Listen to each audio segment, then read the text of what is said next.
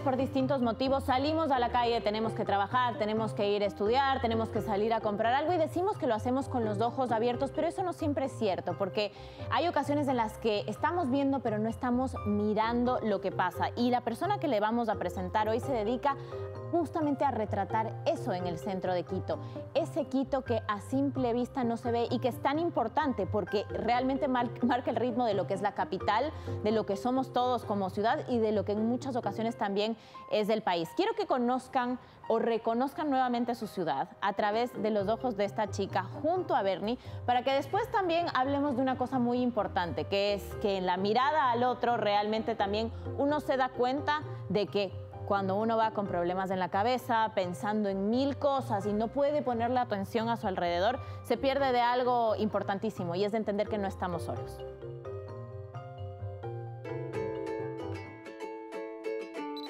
Siempre llego como a la calle y no tengo nada planeado, solamente empiezo a caminar, a ver un poquito más de, de lo que normalmente uno ve cuando camina por la calle, a fijarme en escenarios y en cositas que, pasan desapercibidas en personas que están en situaciones vulnerables. Quiero como que de mi trabajo la gente note esta, esta, esta necesidad, mostrarles a todos que Quito es más que el panecillo y el casco colonial, que hay muchas historias en las calles que hablan de cómo somos los quiteños, de lo que somos los quiteños. Entonces actualmente me encuentro desarrollando procesos de gráfica popular. Hace 10 años decidí abrir mi proyecto Quito Calle. mi cuenta de Instagram, con eso comencé el proyecto y empecé a subir mis fotos. Y después se hizo viral el proyecto.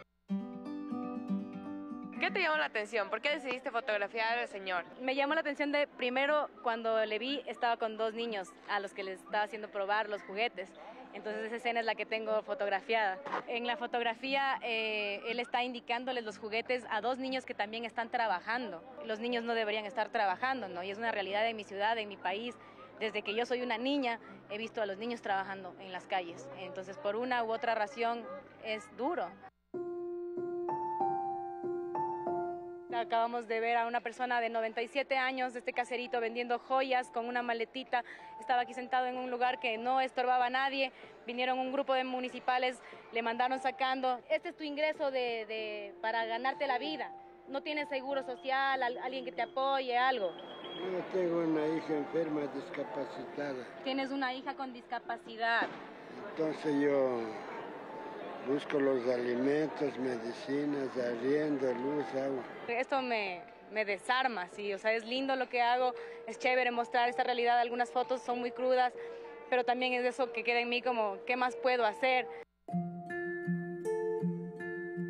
Aquí son tus famosas caseras. Aquí están mis caseritas, mis queridas María, Juanita. Y pues nada, el otro día ya le pegué a mi caserita María eh, mi nuevo stickercito art de la papita de balde. Y está acá. Puedes mirarle, mami, el, este un poquito. Para los caseritos que me decían que se va a salir, ahí está, vean ya, dos semanas resistiendo. Mi casa. me, me, evito el, el stickercito de la papita de balde. Muy bien. Esto es un proyecto ya muy grande y pues hay mucho, mucho de qué hablar.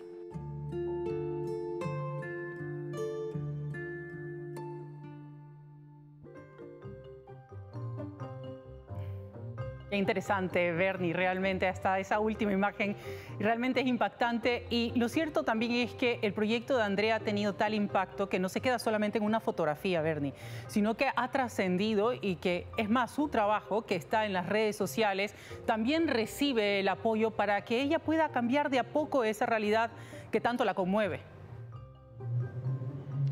Así es, Caro, tal como tú lo has dicho, chicas. Y bueno, primero quiero decirles que estoy en un lugar muy especial y es la Casa Benalcázar. Se supone que aquí vivió Sebastián de Benalcázar y aquí funciona actualmente la Escuela de Arte Quiteña.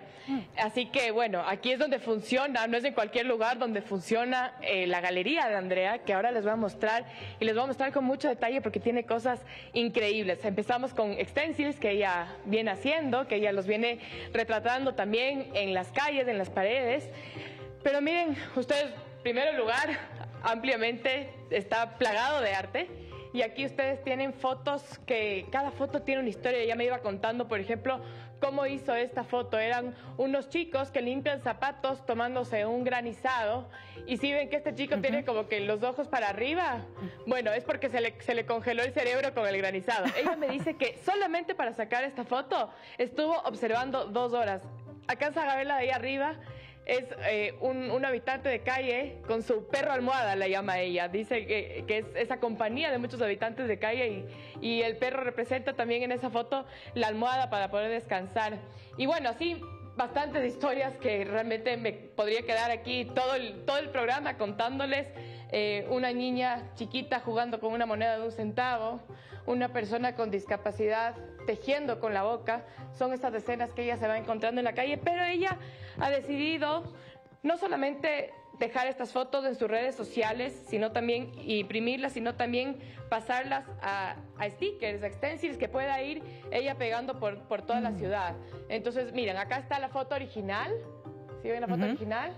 Sí, sí. Acá está el, el sticker. Lo mismo, por ejemplo, la Super Warmy, que esta es la foto original.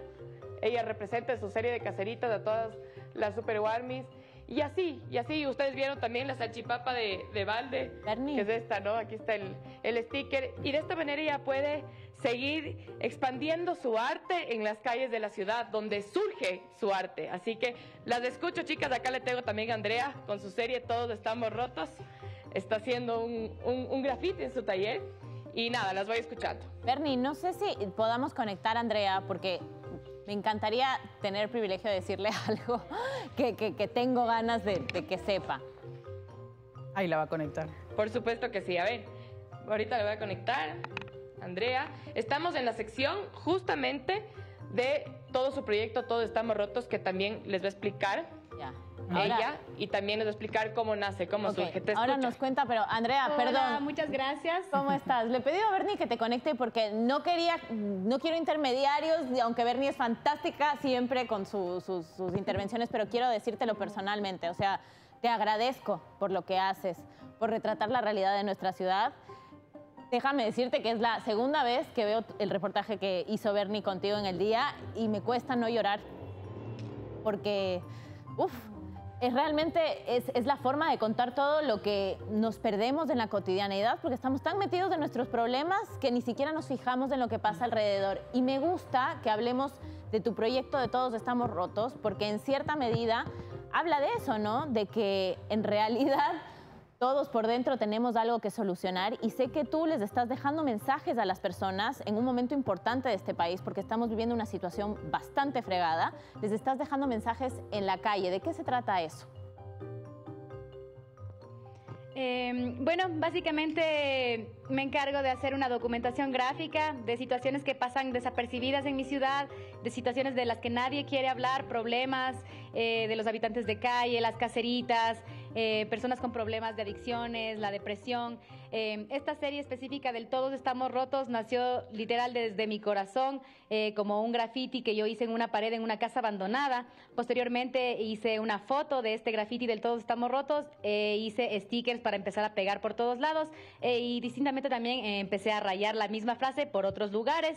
Em, nunca tuve idea de que, o sea, no tenía la idea de que esta frase iba a conectar con muchas más personas, de que la gente se iba a sentir identificada realmente eh, con la frase tal como yo me siento. Y básicamente empezó para poder eh, mostrar un poco a las personas eh, todos mis estados depresivos por los que yo he pasado durante años y también aliarle a mi fotografía de calle con una serie fotográfica en donde retrato la vida y toda la problemática de las personas que habitan las calles de Quito, ¿no? Personas que no tienen hogar, personas que tienen eh, problemas de adicciones. Ahí mencionaste algo muy eh, importante, ¿no? Es, un tema de salud mental. Eh, estamos en una crisis de salud mental en general en el Ecuador muy, muy grave. los motivos por los cuales ha escalado esto son distintos, sí, y quizás algún día ojalá nos tomemos un café y conversemos de eso. Pero lo cierto es que como estamos en una crisis, me encantaría, así que ojalá algún rato que vaya aquí pueda conocerte en persona, pero eh, este es un problema grave en la sociedad. Se trata poco porque hay pocos recursos, hay, pocas, o sea, hay pocos recursos, es poco accesible para muchísima gente. Y creo que por eso varios conectarán con tu mensaje. ¿Qué te han dicho? O sea, ¿qué respuesta has tenido? Eh, la gente se siente eh, muy conectada a este proyecto, a esta frase, sobre todo del todos estamos rotos y a mi serie de fotografías en donde retrato esta realidad, porque eh, tal como la frase lo dice, siento que todas las personas en algún momento de la vida nos hemos roto o estamos pasando por situaciones complejas, nadie sabe lo de nadie, entonces es ahí cuando conectas con una frase que todos sienten como suya, que se identifican, en donde empiezan todos estos em, diálogos con otras personas, en donde hemos podido hablar sobre la depresión, sobre la ruptura, sobre los problemas de adicción. Entonces, después de, poder conversar con algunas personas, eh, decidí también hacer un poco de intervención directa con habitantes de la calle, em, haciendo ayuda social, em, ayuda psicológica y prestando algunos servicios para estas personitas. Y obviamente hablando con el resto de la gente como sintiéndonos todos iguales, ¿no? De ahí va toda la frase, como para que todos eh, seamos, eh, nos sintamos iguales sobre todo y que todos estamos pasando por problemas y ayudarnos, ¿no? Empatizar un poco con las personas. Andrea, justo te saluda Carolina Mela y a propósito un poco de eso que tú estás diciendo, porque yo creo que hay algo en el informe que tú dijiste, ¿no? Que eso te conmueve demasiado todo esto que pasa y que te toca de muchas maneras y de ahí va tu mensaje, ¿no? De todos estamos rotos. Marty te preguntaba, ¿no? ¿Cuál es el impacto que tiene justamente este mensaje en la gente? Y tú lo has podido trasladar justo en toda esta ayuda social. La gente también te colabora de alguna manera o es una cosa que tú dices todavía sigo empujándolo sola? Eh, es un poco agridulce el tema de la ayuda mm. social en calle. Eh, yo estoy haciendo ahora la ayuda social autogestionada eh, desde mis medios, organizo todo por redes sociales, con donaciones de personas que se suman al proyecto, también algunas manos que han ido a darme una mano con el tema de la comida y la gestión como tal.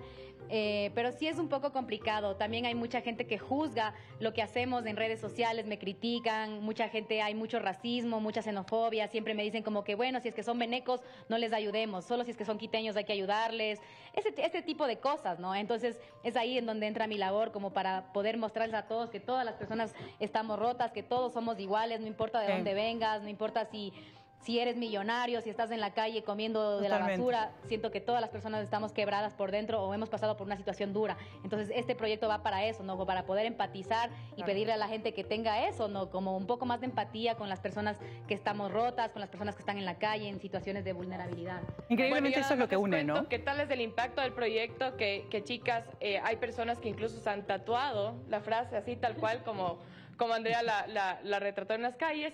Y bueno, les dejo, sé que tienen mucho más que mostrarnos, así que adelante con el programa, nosotros nos despedimos de aquí. Muchísimas gracias, Bernie, muchísimas gracias, Andrea. La verdad es que... Eh, gracias por visibilizar esto, ¿no? O sea, hay cosas que a simple vista no se ven y diría yo que son las más importantes y en un momento como el que estamos atravesando como sociedad, Caro, es súper importante saber que no estamos solos porque el de al lado, el de al frente, el de atrás pueden sentirse exactamente igual que nosotros, a veces rotos en la cotidianeidad intentando seguir adelante cuando en realidad tenemos cosas siempre, por supuesto, adentro que resolver, pero también este tenemos más historias más, Caro, exacto.